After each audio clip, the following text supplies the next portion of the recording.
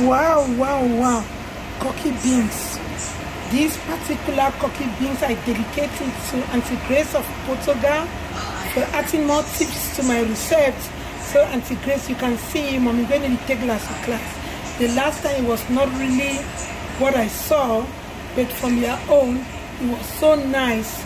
So I decided to do it this way. Oh my gosh.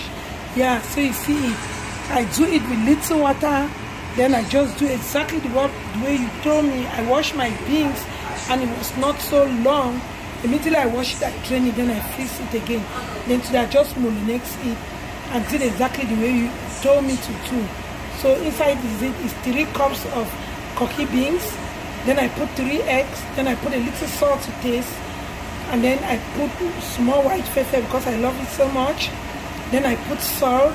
Then I put one pepper. Then I put small um, leaks so that is how it is and it was so nice.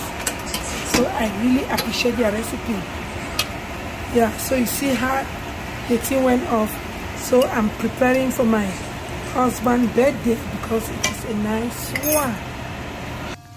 Wow. See how it looks. Wow. It's always good to ask questions oh my god i'm so so happy. Yeah this is my first time to ever fry my aqua beans and it looks so delicious like this.